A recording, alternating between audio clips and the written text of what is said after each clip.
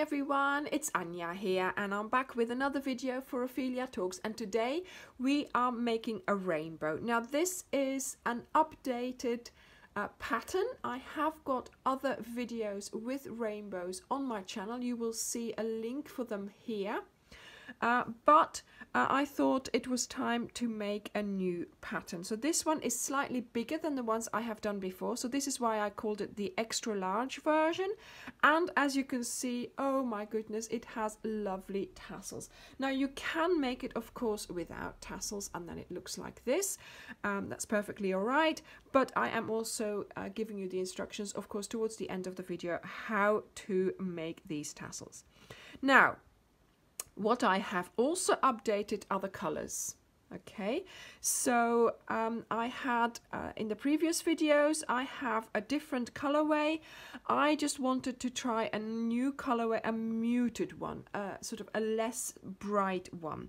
And I came up with tomato, spice, saffron, pistachio, cloud blue, lavender and grape and I am really really loving these colors. Of course they are all Stylecraft Special DK and of course they are all my stash colors because I have to make do these days. So uh, go and dive into your stash. See if you can find yourself a rainbow. Of course you don't have to follow my instructions if you don't have those colors um, I suggest you go online and find um, you know another color combination or just go into your stash and see what goes together. So yes, my updated rainbow pattern with uh, larger size tassels and new colors. I hope you enjoy this tutorial. Please, please share this video with people you think who might be looking for a rainbow pattern. And also remember to like the video and please subscribe because that way you will uh, become a member of my uh, community of my channel and you will be notified of every new video that I post and I have something else up my sleeve a rainbow related as well so subscribe to make sure you don't miss out on that. So what else do you need for this project? A stitch marker to indicate your first stitch then here, scissors, of course. I am using a 3 for this pattern. Um, the yarn is prescribed as a 4, but you know I always go down half a hook size. And even for this pattern, to make it nice and tight, I am using a 3. And if you are putting tassels on, you'll need something that you can wind your wool round uh, to get the same measurement. So I've got sort of this empty chocolates box that I've been using and that's the perfect size. Let's get started with a slip knot. So holding the yarn in your hand like this, wrap it around your fingers twice like so. Then bring the back one to the front, then the back one to the front and then pull up the back one. Take your fingers out and this has given you an adjustable loop. Insert your hook and adjust the loop so it's tight around your hook. Well, not too tight. Then, holding on the, to the yarn like so, we are going to yarn over and bring the this yarn through the loop on your hook, like so. Yarn over again, through the loop. Yarn over, through the loop. So we are going to chain, and I've done one, two, three chains, and we are going to do 12 chains. So five, six, seven, eight, nine, ten, eleven, and 12. Now to count your chains, you count the V's, so 2, 4, 6, 8, 10, and 12. In your last chain, you're going to put a stitch marker. Okay, so now we are going to start the first round, so to speak, and we are going to do two more chains. This chain now acts as our first double crochet coming out of our first stitch, okay, because the, the stitch, the chain with the stitch marker in is our first stitch. Now we are going to do two double crochets in the next stitch. So not the one with the stitch marker in, but the next one. So in so you yarn over, insert, pick up two V's if you can. Yarn over, pull up a loop.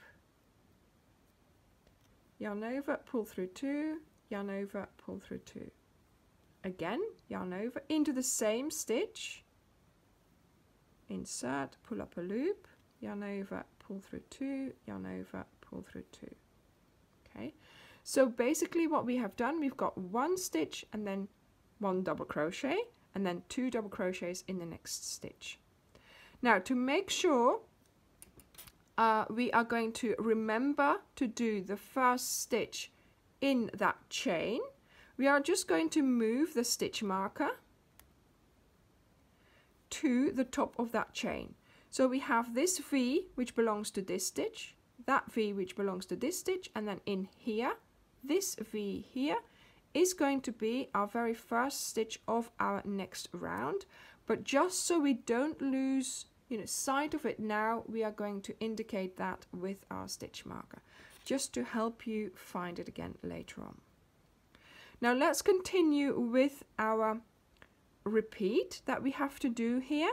So one double crochet, two double crochet, one, two, one, two, and each time in the next stitch. So in the first stitch that you see here now, you do one double crochet.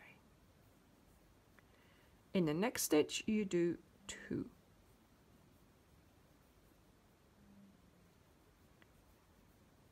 So one and two in the next stitch. And if you find it hard to pick up the V, so where I pick up is sort of where that V meets. I go into there, so yarn over, go into there. This one is one, so that's at the bottom. There's two sort of you know legs of the V there, and that's where you go in and you do your double crochet. So I've got to do two in the next stitch.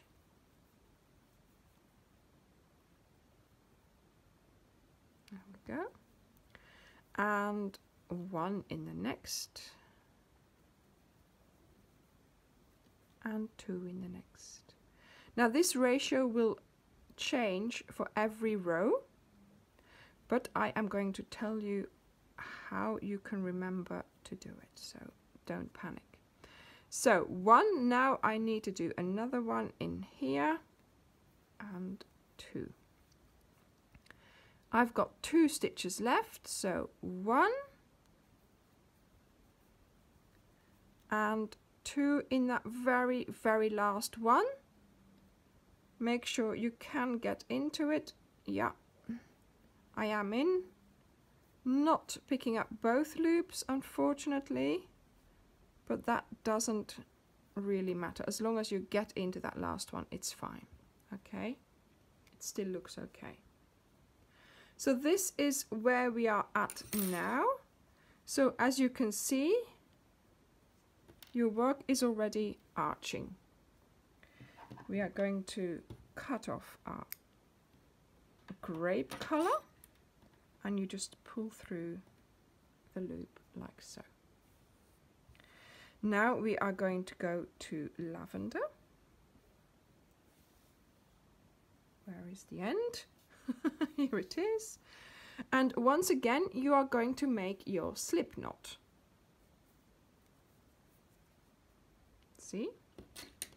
Insert your hook, adjust the loop, hold on to your yarn.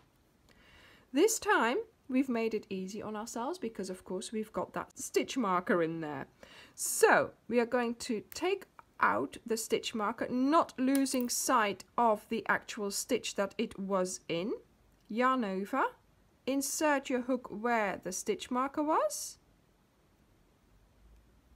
pull up a loop and do a standing double crochet. So this row, we are going to do a repeat ratio of 4. So that means you do one double crochet on its own, another double crochet on its own in the next stitch, another double crochet in the next stitch. So one, two, three, and then number four is going to go in with number three. So one, two, three, and number four goes in with number three. There we go. Okay.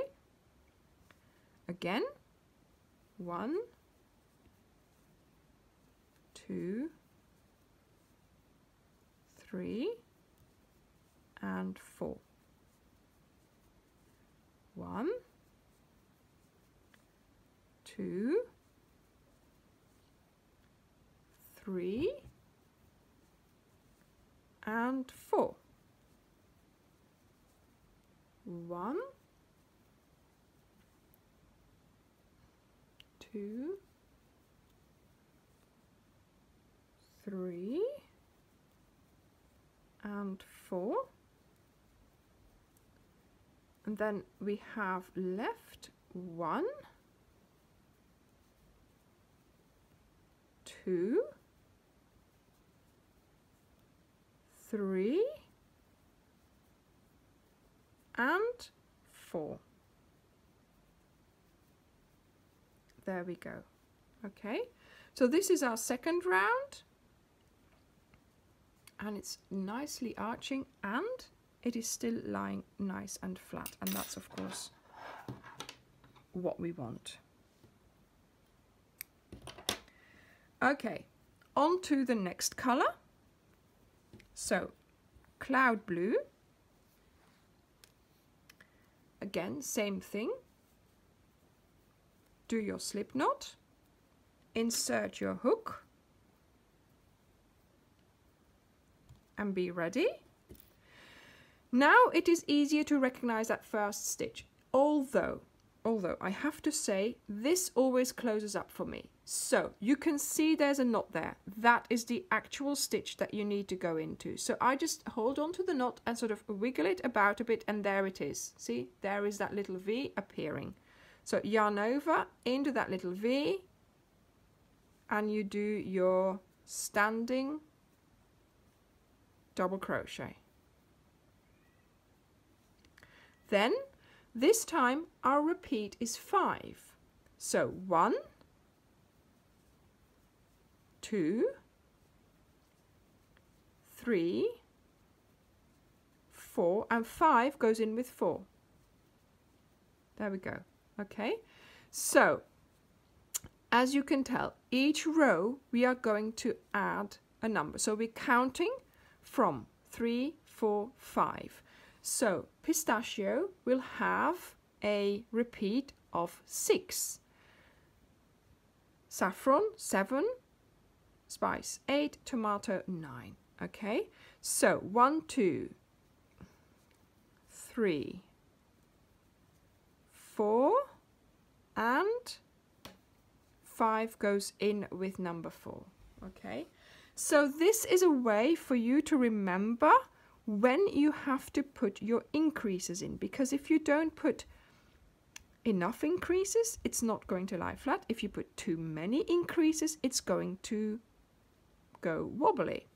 So one two three and then here four and five. And I remember it by counting sort of giving my row a number and that's the amount of stitches that I count and then the last one of that number goes in with the previous one. So this time it's five, one, two, three, four, and this time I'm counting to five, so five goes in with number four. One, and it just works out each time that that is your exact um, increased ratio that you need for like I said one two three four for making sure your rainbow is going to be nice and flat. One two, three, four, and then the fifth one into the last stitch as well. There we go. Okay. And doing it this way makes it quite easy actually because all you have to remember is to count to the correct number, of course. So if you've forgotten where you are, you can still count your previous row and say, okay, one, two, three, four, five. Okay, so this was five. So now the next row I am going to do six. So again, slip stitch, insert into that first one here. As you can see, it closed up a bit. So make sure you open it up and you use that stitch. Okay. Yarn over and go into it and do your standing double crochet. There we go. Now you are going to count to six so one, two, three, four, five, and six goes in with number five. And this is how you are going to continue for the rest of the colors. Okay, so I am going to leave you now and I will see you when you have finished your rainbow. One, two, three, four. Five and six. See you in a moment.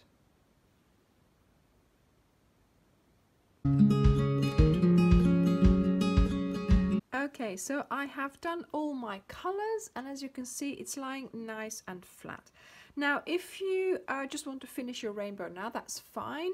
Uh, just sew in all the ends and it will look like this. Okay, but if you are going to put tassels on like I am, uh, you will need to get your cardboard. I have this box of chocolates, which I've kept. Well, there's no chocolates in it anymore, but I, you know, that sort of revolution is sort of the perfect um, length for me. So I am going to start, of course, with the grape one. I hold it like this and I wind it round about six times. Three, four, five, six. Hold it like this then I cut off the yarn, cut off in the middle of that box there. And then at the top here, you pick it up and you hold it in your fingers like so. Okay. Now, I am not sewing in my ends because I am going to incorporate them into my tassels. So this is how I'm going to be doing this. This is my front, okay, and this is my back. Can you see the difference in the stitches? So there seems to be more sort of bobbly bits here than there are here. So with the back facing you, you're going to put a bigger hook. I'm using a 5 for this. It doesn't matter. You can use the same one, but I just like to use a bigger hook. Around, let me just put it in and then I'll show you where I've put it. Around that first, no, that's not the first double, yeah, the first double crochet there. Okay so in there then you put all those strands against your hook keep them tensioned and you bring the hook with all those strands through that location there where you inserted that hook. Then you pull up the hook slightly so you make this loop bigger take out your hook now you're going to have to need to use your fingers fingers like so. Then grab all the strands, so also the one that you have hanging out and incorporate it into your fingers, bring it through the loop and gently pull. This now has ensured that you've got the nice bit of that tassel at the front and what I call the ugly bit at the back. Okay, and your end is also incorporated, so that's gone, so you don't need to think about that anymore. Think about sewing that in or anything. You don't need to do that. Okay, so this is how you are going to continue for the rest of your tassels of course and I will show you the finished project in a moment so keep watching I'm going to do it on a time lapse.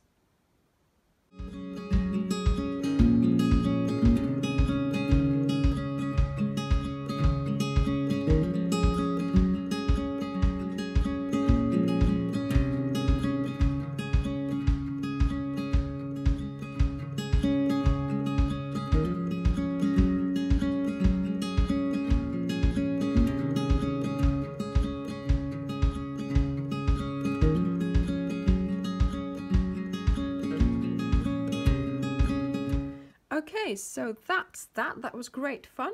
And now all I need to do, look at that, is just tie up the unruly ends.